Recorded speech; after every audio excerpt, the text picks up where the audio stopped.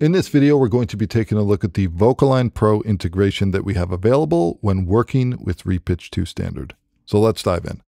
All right, so I've got a track over here. We've got a lead vocal, lead vocal double, and we've got two harmonies. Now, I've already done a full tuning pass of the lead vocal. I haven't done anything at all to the lead vocal double, and I've tuned one of these two harmonies in Repitch. So let's open up Repitch and let's take a listen to the lead vocal, and we'll have the instrumental in there as a reference. Dark when the senses are off, lights off. Coking the lime on your chest. Wrapping my legs around your neck. I got limited time on my plan. Trying to call you my man. Yeah, you're a little wifey. You're talking all sorts of things like kids or rings. But for now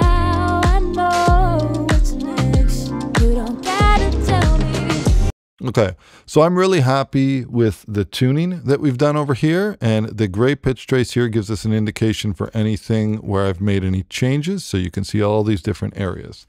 Now, I've already gone ahead and I've tuned this lead vocal. Like I said, I'm happy with it. Let's momentarily isolate the lead vocal double. Let's mute our instrumental. Let's take a listen to a couple bars of the double. Better in the dark, turn the senses up.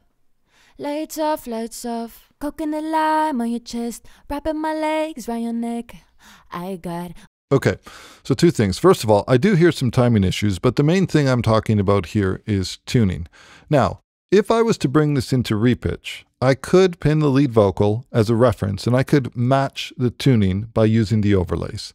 And the other features that we have with the new Smart Attack mode is I could use the lead vocal as a timing reference and I could quantize the lead vocal double to that timing reference. But the thing to take note of is it doesn't handle tuning. And in addition to that, in terms of the timing, we only kind of have one shot, which is 100%. This is where VocAlign comes in really, really handy. So what I'm going to do is I'm going to select the lead vocal double, and in my DAW choice, I'm going to choose the option to load an instance of VocAlign. Let's just click, hold, and drag.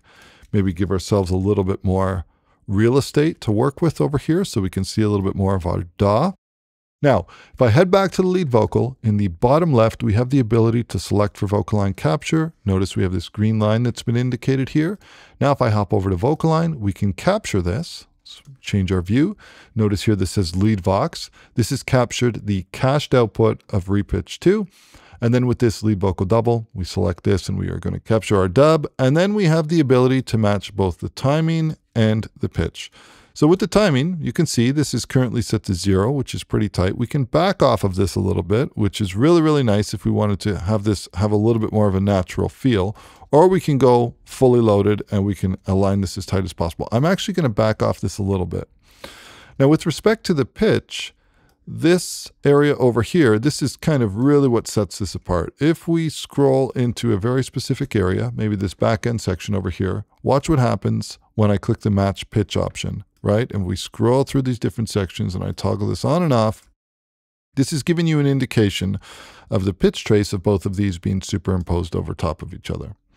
Now, I could also back off of this a little bit if I wanted to, so maybe we'll back off to about 2%, but this is really where you have the control to loosen things up a little bit. And I might tighten up my timing a little bit, not necessarily to zero, but maybe somewhere around two.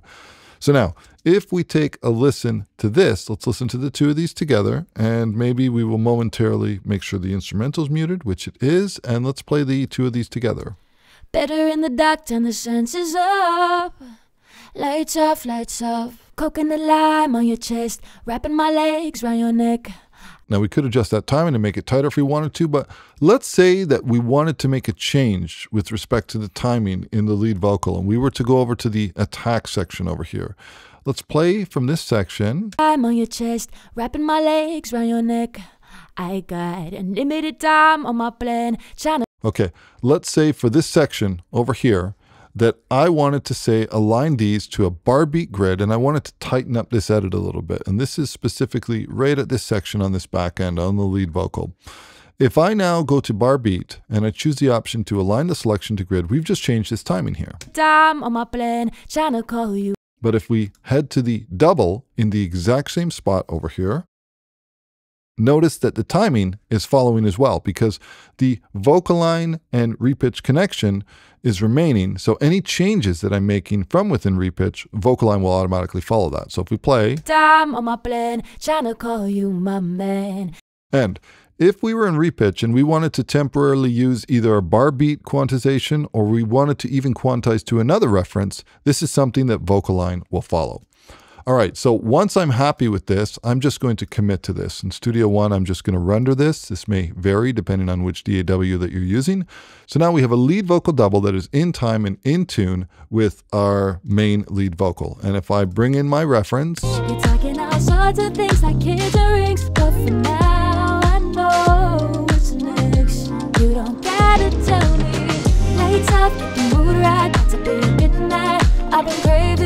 And we did that with very little work and we have full customization. All right, let's talk about harmonies for a quick moment. I'm going to scroll over to the end section, probably right about here, and let's take a listen to this harmony. And this is going to be soloed against the reference.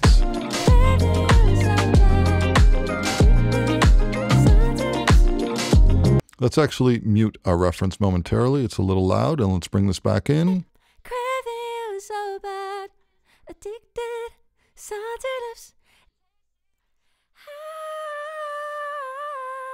Okay, if we take a look at this area over here, I'm going to bring in the Vox high harm right, and I'm going to pin the Vox high harm left as a reference. Notice that the pitch, we have deviations of the pitch over here.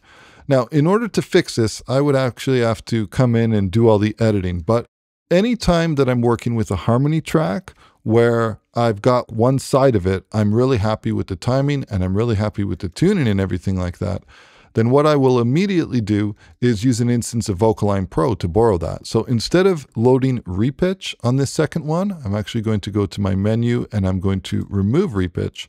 I'm simply going to replace that with VocAlign. And then it's the exact same thing. In repitch, we're doing our VocAlign capture. It's been captured. Now we will hop over here. We'll capture this. And then in terms of this one, we'll capture this.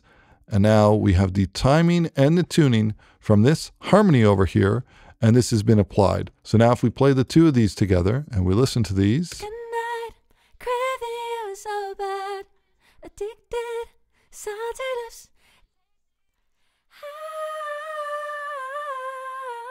and if we were to temporarily take the match pitch off, notice what's happening here with our pitch trace, right? We've got quite a bit of deviation across the board right over here. Let's just scroll that up so we can see it. But if we match that pitch, this locks it in very, very nicely.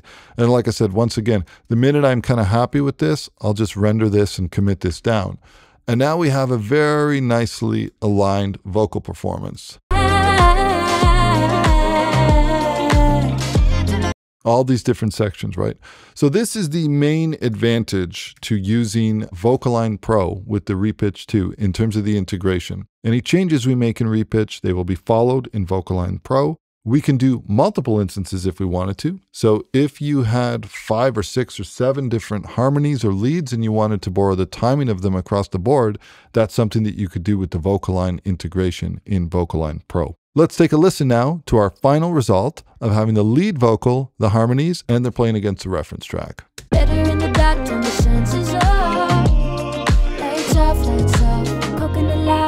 Chest, wrapping my legs your neck. I on my plan, trying to call you my man. Yeah, you're a little wifey. You're talking all sorts of things like kids and rings, but for now